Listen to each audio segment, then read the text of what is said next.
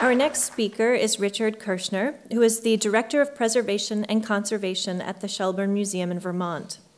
He holds a master's and certificate of advanced study in conservation from the Cooperstown Graduate Program and is a fellow of AIC and a council member of the IIC. Mr. Kerschner actively participates in conservation outreach actions to museum professionals and teaches preventive conservation workshops. In 2004, he researched and developed a safe, attractive, and efficient LED in case museum lighting system and has used over 1,500 retrofit LEDs to light Shelburne's exhibits for the past two years. He is presently managing the design and installation of an in ground fiber optic communications network to carry telephone, fire, security, environmental control, and high speed internet signals between all 40 museum buildings. Richard.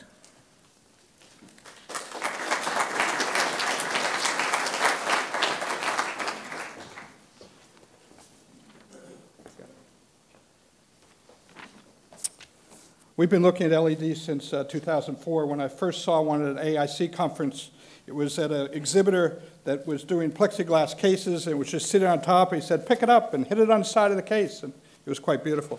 As soon as I saw it, I said, I want these. And we mainly wanted them for, for our doll houses because we were displaying about 300 dolls inside cases. They're cool. It sounded like the ideal light system. We worked with a manufacturer called uh, Prolume out of uh, Connecticut, and I do mention him because he's done a lot to develop uh, these type of LEDs. And he picked a, a chip from a company called Bright in, uh, in Taiwan, and that was misnomer because within two years of putting it in, uh, it had lost 75% of its luminance. And so it just dropped dramatically. And uh, so my job, I thought, was on the line at that point. But fortunately, I had uh, negotiated a good warranty. At the time, they didn't know how long to warranty LEDs, so they gave me a 10 to 15 year warranty, so, which was a mistake for them, although they, have stuck by it and uh, replaced $30,000 worth of LEDs in our dollhouses with a, a chip called Nichia. And Nichia is a very good chip, and it's been working very well. And so we used the Nichia chip when we did our toy shop in uh, 2000 and 2006, 2007. And uh, they, were, they were a bit uh, cool, but with the yellow background paint. It didn't matter. We've been very happy with them. Moved on to our miniature interiors in 2008, and Nichia is, is holding up very well. So we've been monitoring. Uh, they might be losing a, a little bit of, uh, of in, their intensity, their, their, full lighting capability, but overall we're pleased with them. Uh, so each, each year when I'd uh, go to AIC or talk to LED manufacturers, I'd try to get hold of an MR16 LED. And I bring it back and I put it up in my lab next to uh, MR16 halogen. And when we first started, this was in 2006 or so, you just laugh at it. You know, it was way too dim. It was a wrong color temperature. They weren't consistent. Uh, but over the years, uh, 2008, 2000, they started getting better and better. And by 2010, they were looking pretty good. And that was good because our Efficiency Vermont, which is our efficiency utility in Vermont, came to us. We're targeted by them because we're one of the larger power users in our area. And they came to us in October and said, uh, we'd like to push some LEDs, some retrofit LEDs. And so if you'll, uh, if you'll try them, we'll pay for them. We thought, wow, that sounds pretty good. And my electrician was already just go out and buy the one that his local representative said from Sylvania or Philips or whatever said, here it is. I said, no, no, no, we got to wait. And I spent the next two months evaluating a large number of LEDs screening many, uh, getting about eight different ones into tests, both PAR 30s and PAR 20s and MR 16s. And we ended up selecting a Sylvania PAR 20 and PAR 30 for our gallery settings. And we put in about 650 of those. In the first year, we lost 10 that just went out. They're completely replaced under the warranties. No problem, just send them back to Sylvania. Although you do have to read the warranties carefully because if you try to do that after four or five years, you only get a portion of the, of the price back. So make sure you do read the warranties. Uh, we chose 3,000 degree Kelvin. Uh, there's also 2,700 uh, that look pretty good. We put them up side by side with our halogens. We put them in two white galleries side by side, brought our director and curators in. They looked at the, the both galleries, and one with the 3,000 LEDs, or the uh, director said to us, Did you guys repaint the white walls in here? And we said, No, that's, that's what they actually look like under halogen, the, the yellow.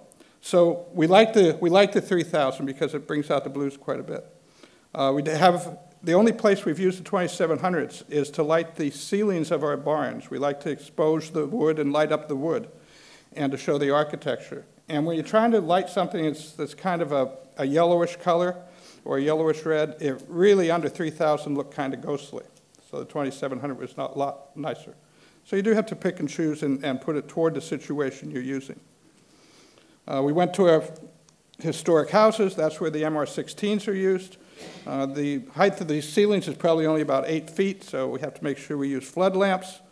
Uh, But we put in about six or 700 in our various historic buildings. And overall, we're saving about $6,000 a year. Uh, The maintenance, uh, we're saving the maintenance costs, of course, and some HVAC savings.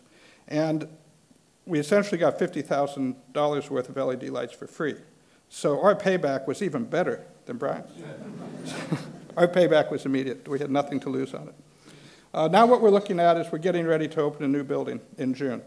And it's two large galleries that we've never had before for changing exhibits. And uh, we're going to buy about 200 LED fixtures.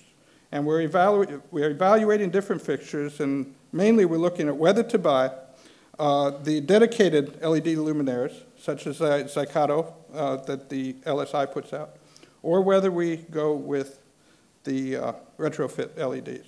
And there's disadvantages, advantages to both of them. The initial disadvantage to the dedicated is they're quite expensive. And so there can be some savings, some significant savings by going with the retrofit. But the problem with the retrofit is now what we're seeing, uh, that they're starting to shift a bit. And there's less of a chance, not that the, the dedicated won't shift, but they'll probably shift left, less and will be more controlled. So that's kind of why I'm here, to decide what to go back and test over the next few weeks and, and order within the next few months to put into our new building. Uh, and uh, one of our presenters said, some good advice is not to go with just one LED throughout your whole building. And that's, we, we have not gone with one. We've started with these, the bright, and then went to the Nichia when we found the bright were no good. Uh, we also use Philips, we also use Sylvania, and now we're looking at uh, possibly Xicato, Cree. There's some various different ones. So don't, don't put all your eggs in one basket.